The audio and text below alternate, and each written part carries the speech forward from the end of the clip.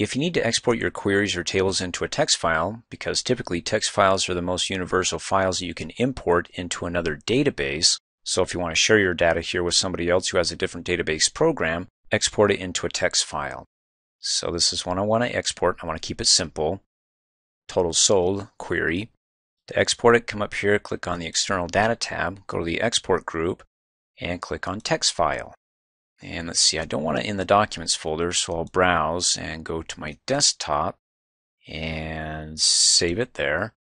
And do you want to export data with formatting and layout? No, because if somebody else is going to pick this up, if it includes the formatting, well, their program may run into issues. But I'll show you both. Okay, this is without formatting, so we won't check it. Click Okie dokie.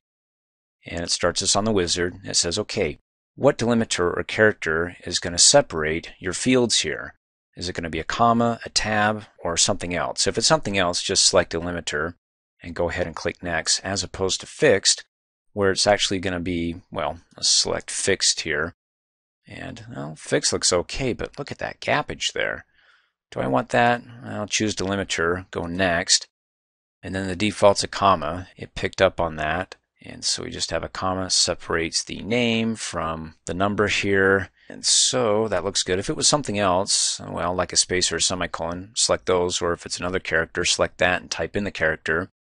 Now, do you want to include names on first row? When I check that, then it has, it organizes it so the book title is before the first comma. So book title, is that the book title before the first comma? Is that a title before the first comma? Yes, because after that is the book sold, and those are numbers. Okay, that checks out. Great. So you can go ahead and click next, and then, well, that's going to be on the desktop, and that's going to be the name. Let's leave it as is and click finish. Close out, minimize to the taskbar. There on the desktop is the text file. Double click, and there you go. Very simple. It's separating the data by a comma.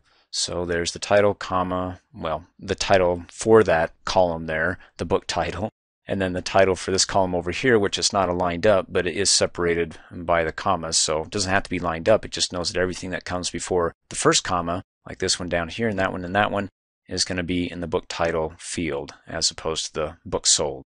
So there's that way, or let me close out and right click and delete that and say yes. Let's restore our window here and let's do it again. Oh, that was so much fun. Let's do text file, only this time, okay, it's going to go to the documents folder. Got to browse again and select the desktop and save it.